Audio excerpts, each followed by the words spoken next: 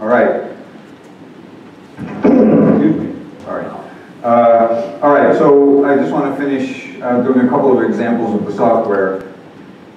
Uh, So just the other night, uh, in response to a request from Roger, I wrote a little function to give the matrices of the action of the simple roots on the cell representations. Uh, It's not in the version on the, on Git yet, but it it will be shortly, and I just wanted show you how that works. So, um, so we, we, we saw this uh, print W, whoops, W cells. Uh, this is the example, we're in SP4.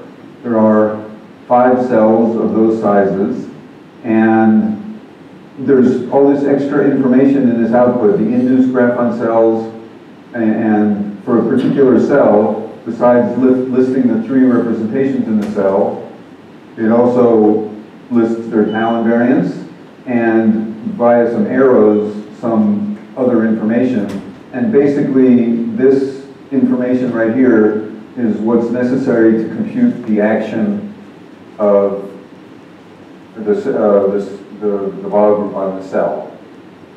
And that's what I've implemented. So, first of all, um, let's set cells is equal to W cells of this plot.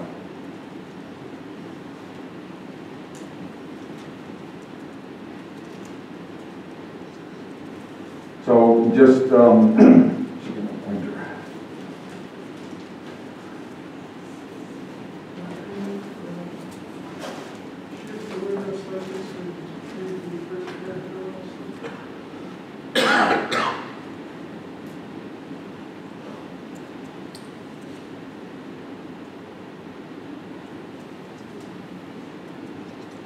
Oh,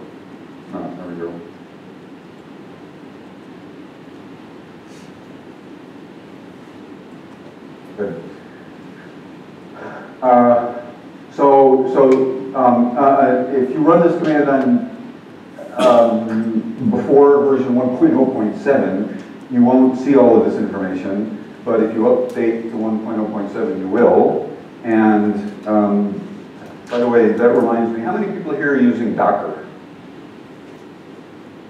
Okay, not so many, so I won't bother um, uh, explaining that.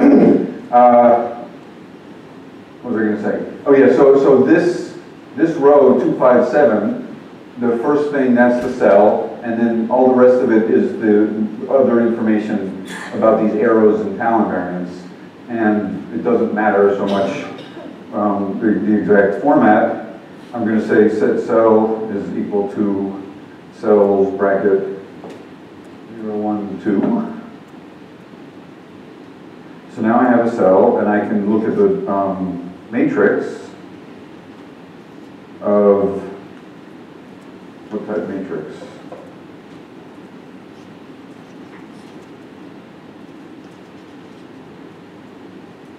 Matrix of cell, zero. So that's, excuse me, uh, this cell has three elements in it, and the, uh, the, it, it outputs this information, the taus and the arrows, and based on this, it computes this matrix.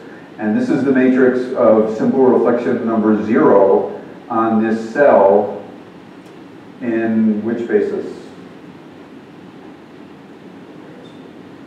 Irreducible basis? Looks like it sends zero to the first, first, right, and it's minus one, so it's the tau. Ah, thank you. The tau invariant, yeah. So it's, this is in the basis of irreducibles. Thank you. And you can also look at uh, the matrix of the first reflection. And so these two matrices define a three-dimensional representation of the Weyl group. And um, as an exercise,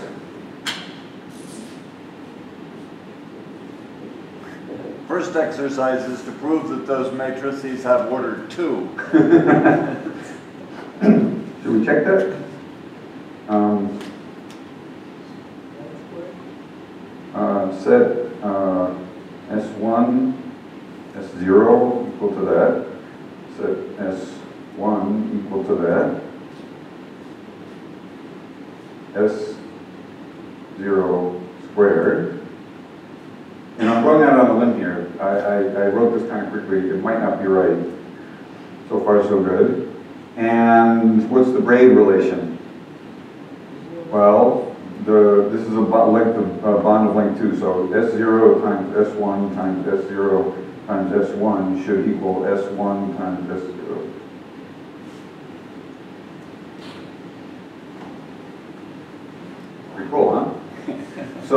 this is indeed a representation of the VA group, and the exercise is, um, the, what's the cell, two five seven?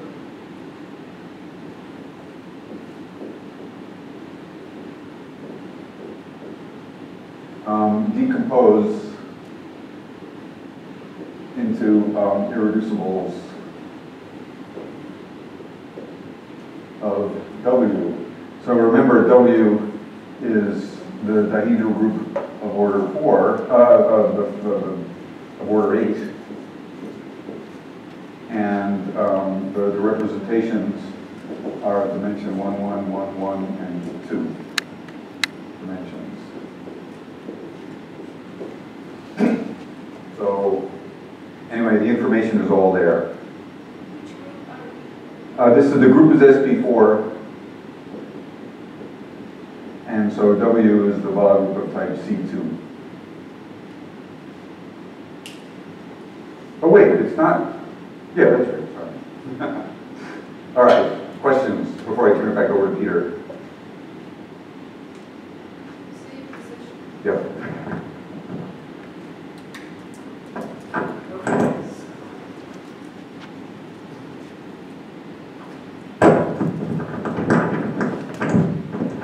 Okay, well, I didn't get very far in what I said I was going to do, which was basically prepare preparatory material for what Roger and Jonathan were going to talk about. But, so let me get a little bit closer to that.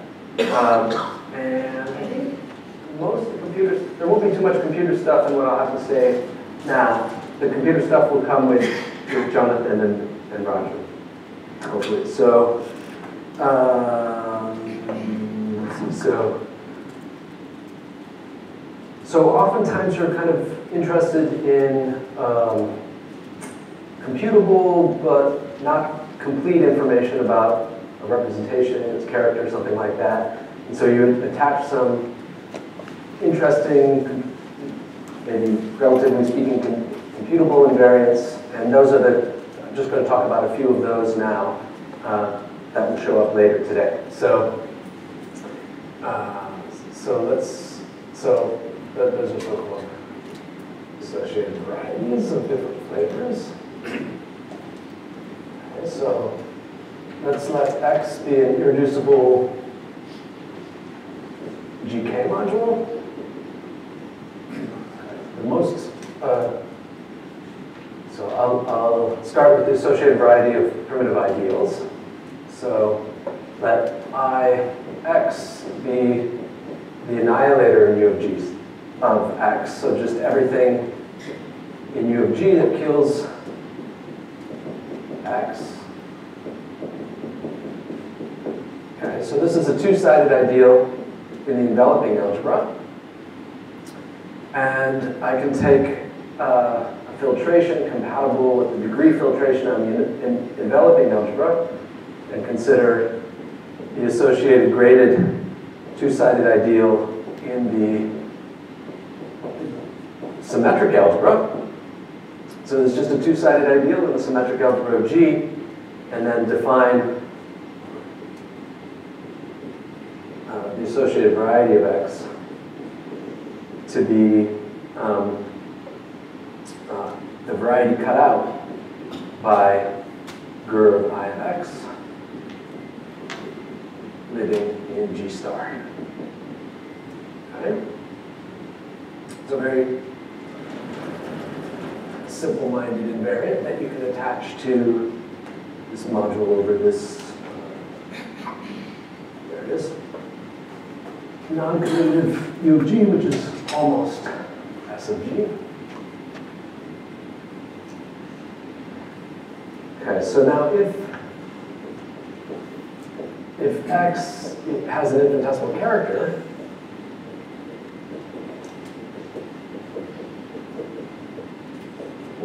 right?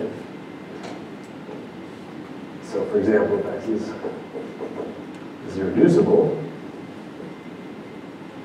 then this associated variety of x is living in the nilpotent elements of G star. Nilpotent cone. So to say it has an infinitesimal means that the annihilator, you could write down, um, I'm going to mention one ideal in the center of the enveloping algebra that uh, annihilates x. And so that imposes a restriction on uh, what varieties cut out by GURV I of x. And according to results of Kostant, that restriction is exactly uh, what I've written down here. Okay? But in fact, uh, more so is true. So this is for Zelinsky. Well, let me just preface it by a, a little, a little more. So if, if G is um, uh, the group that's the complex group floating around, then this is going to be G invariant um, uh, subvariety of the, the nilpotent elements. G acts with finitely many orbits on the nilpotent cone. So this associated variety, I should say the associated variety of, let me continue writing the associated variety of, of I of x, of the annihilator of x. Sorry. This associated variety is a union of closures of nilpotent orbits, complex nilpotent orbits on, on n of G star, but in fact, it's the closure of a single one. So there exists a nilpotent orbit O in G star such that the associated variety of I of x is um, bar. So with this construction, this theorem uh, does for you is it attaches a complex nilpotent orbit to every, well, in particular, irreducible Harish-Chandra module, uh, irreducible U of G module. And so, um, done in this way. Okay, so now an interesting question is, uh, well, as I remarked, as, as you all know, there are finitely many or, uh, nilpotent orbits, complex nilpotent orbits. How would Atlas compute something like this? If I gave, uh, I gave you a parameter from irreducible a GK module, uh, could, could it tell you what the nilpotent orbit was? And that's kind of tricky. Uh, not sure what the best answer to that is. I mean, you would, and, and I guess maybe the answer is that so far, I don't know if you have an answer, that so, so far that this isn't, this isn't fully answered in Atlas. Okay, so now,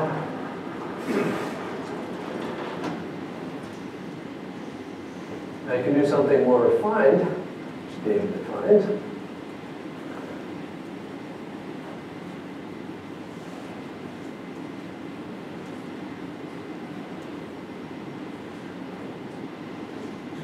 So, so this is a refinement. So instead of just looking at the uh, U of G action, the annihilator U of G, and seeing what that tells you, David came up with the following refinement. So let x of j be a good filtration.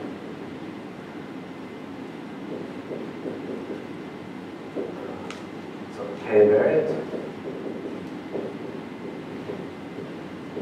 on x. So what this means is it's, it's exhaustive. Um, oops, x. Uh, it starts somewhere. There's a few other properties. I mean, the, the, the most interesting property is is that um,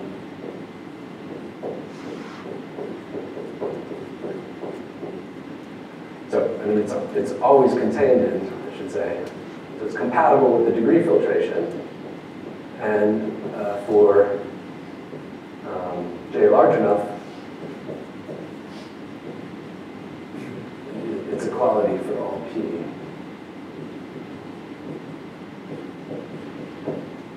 so it's compatible with the degree, it's an exhaustive filtration, it's compatible with the degree filtration. If you go out far enough, then um, it takes the jth piece of the filtration to the p plus jth piece.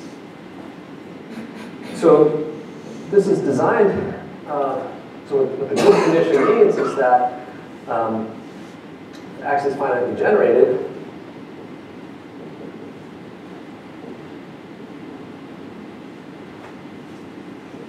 Well, good filtrations always exist.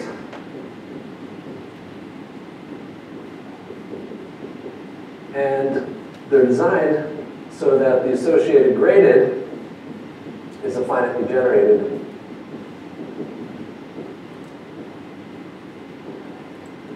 at a of UG module.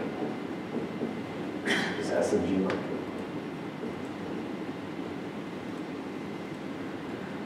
Okay, so let me, brought in the action of K by requiring the filtration to be K invariant. And so, so what you've done then is you start with x. You've gone to GUR of x. So let's say irreducible. Uh, so now this is finitely generated. Uh, an S of G in this K module. This is an irreducible GK module. Now the K invariance of the filtration means that this action of S of G descends to S of G mod K. So you've gone from an irreducible GK module by passing to the associated graded of a good filtration, which always exists, uh, and you've gotten an S of G mod K K module. And then David's definition is that the associated variety of X uh, is the, the support, the closed points of the support of this uh, of X. So this is living inside of G mod K star. And uh, it's K invariant. The K action is coming along. And uh, if I start with something irreducible, the same results of Kostant uh, tell us that this actually lives in the nilpotent cone. So the associated variety of X is K invariant, it's closed, by definition, K invariant closed subvariety of the nilpotent cone in G mod K star. So, so now, so, so the, the recap is if X is reducible GK module,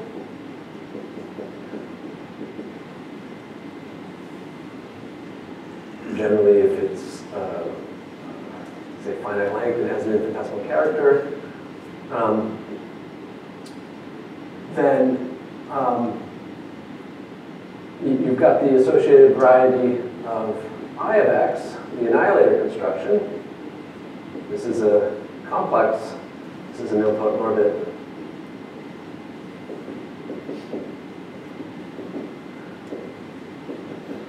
And then you've got the associated variety of x. But what is this thing?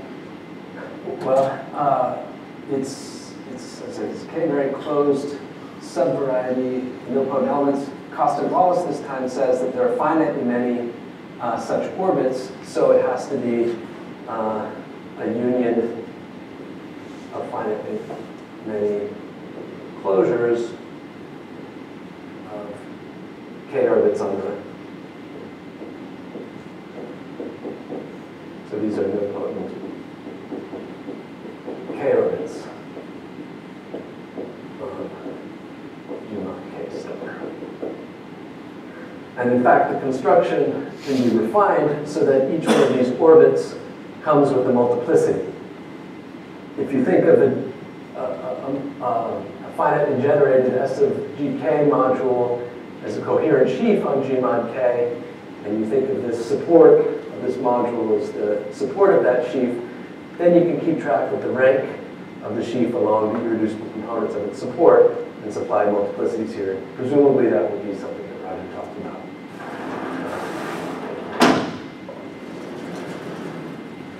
Okay, so again, gonna find that in many of these OIKs, I'll talk about, first of all, I want to say a theorem about relating these, uh, these two invariants, uh, but then talk about how you might hope to parameterize them.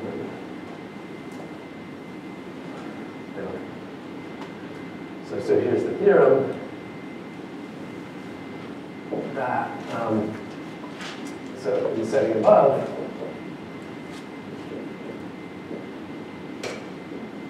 each uh, OIK is a K invariant, obviously K invariant, Lagrangian in, in uh, O. It's complex, nilpotent orbit. Oh, so complex nilpotent orbit comes with canonical symplectic structure. Uh, and each of these is Lagrangian in that structure. So, so in particular, well, the dimensions of each of these guys is half the dimension.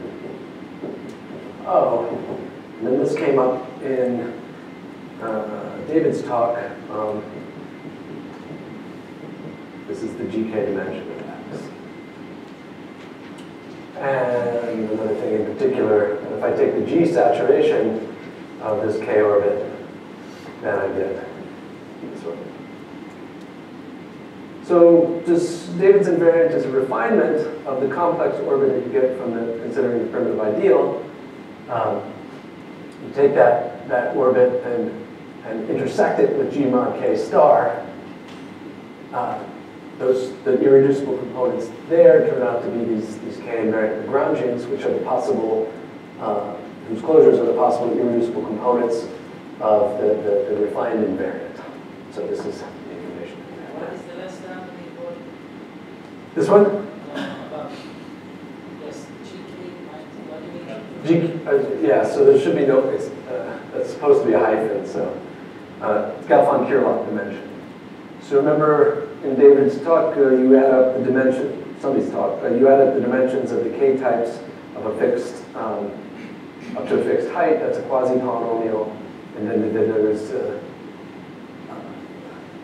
discussion, Mark led the discussion of how you would actually potentially compute that in Atlas. Okay, so, um, and so the, and so, so, so so an easy exercise is that uh, the associated variety of x is equal to the associated variety of x tensor f. Uh, I should say, uh, well, the associated variety can't get bigger by tensoring. But, uh, no, this, I think this is okay. So, so you just can work from the definition that I gave, and um, so that this is f is any finite dimensional.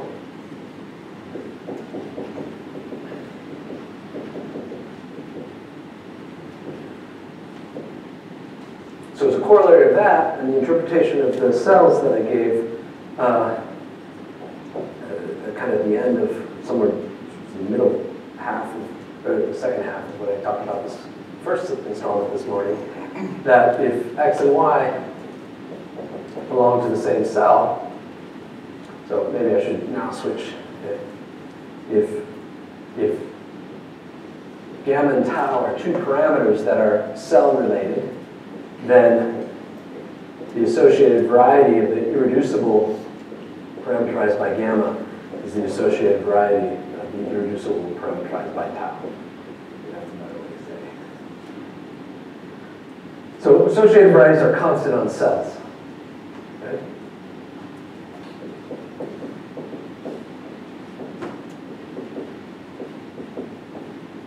The refined associated variety is constant on cells. So in particular, the, the, the one that just deals with the annihilator and enveloping element is also constant, the less refined so this gives you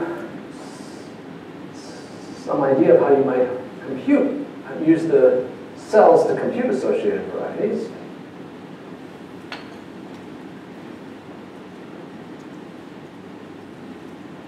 So, for example, um, if if if, um, if you can locate, in particular, I should say, if you can locate some tau in a cell and compute I don't know why I'm belaboring this so much, but if you can compute that, then you've computed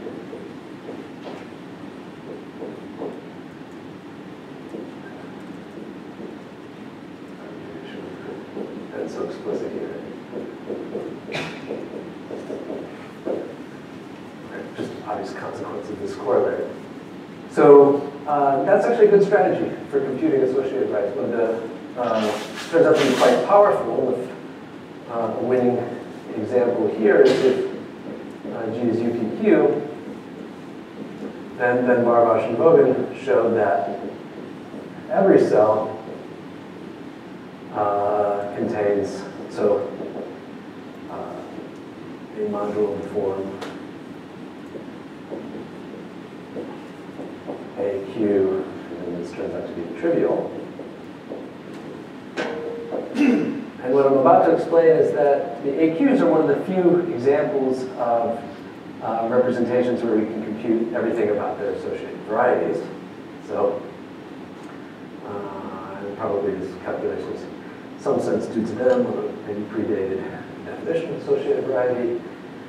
Uh, and what they, they pro, in, in general, for general G. So, and general G, uh, the associated variety of a derived functor module in the good range is um, k of u cap. Uh, I guess I should do this. Um, G mod q star intersect G mod k star. So whether you get your head around this uh, or, or not, um, the point is that if you have a derived functor module, you can easily compute a a derived functor module in good range. Uh, you can easily compute its uh, associated variety. It just of Q in a simple way. That's the closure of a single K orbit on this nilpotent cone. And so by this yoga, you've computed uh, uh, the associated variety of any representation, uh, any irreducible representation of parameters in the same cell as this parameter. And in particular for UPQ, that worked perfectly, and you computed all associated varieties. Okay? And in the good range, I guess you can compute uh, these more refined cycles very easily as well.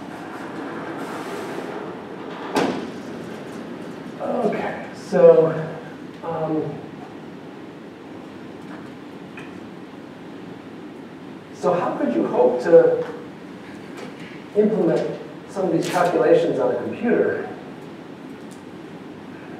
Well, we talked about how to compute cells. That comes down to computing uh, the Kazhdan-Lusztig-Vogan change of basis matrix. Uh, it's- you know, we, we know how to compute which uh, derived functor module, uh, which modules are in the form AQ the good range of a particular block. Um, so that's all computable, but the, the kind of mystery object here is how you would possibly parameterize um, nilpotent orbits. How could you possibly parameterize nilpotent orbits? So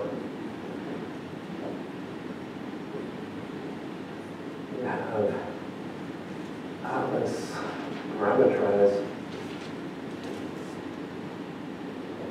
um, say, k orbits code in G mod K star. Seems like a complicated thing. So let's, let's do um, the example of SL2. So we don't get too lost in the weeds here. So G is, is SL2C. So the complex nilpotent orbits, the G orbits, on nilpotent elements in N of G star. Ah, sorry. So start with the complex nilpotent orbits. That's just Jordan form. That's the zero orbit and everything else. Um, principal orbit. And um, n of G mod, uh, n of G mod K star, well, that just is uh, the, the P plus and the P minus. If you, if you think in terms of SU11, it, it- it's just these two lines here intersecting in zero. And so you have OK zero, and then the orbit of this uh, al- along this line, and the orbit along this line. So the k orbits on. So you have two, uh, say k plus and k minus. Okay, so this actually looks pretty good um, because, so what's uh, KGB for the complex group? SL2C. So, so I hope you'll permit me this bit of imprecision. If I really wanted to, uh, to talk about the complex group, G would be SL2C cross SL2C, as we discussed, and K would be diagonal. But there, KGB just looks like this. It's, um, i- i- it's, it's kind of the diagonal uh, copy of the flag variety in, in pairs of flags and everything else. And, and KGB for SL2R, I've seen that a lot, that looks like this. And so now it's completely obvious that the way to parameterize nilpotent orbits for SL2C is by KGB. Th- th- This, this diagram matches the closure order for G orbits on N of G star. This uh, matches the upside down closure order for KC orbit, K orbits on G mod K star. And, and the, and so you would hope that you could make something like that work in general. What is the obvious? The obvious, the obvious. Okay, okay, so, so, so let me, let me say a few more words. Um, Let me say a few more words.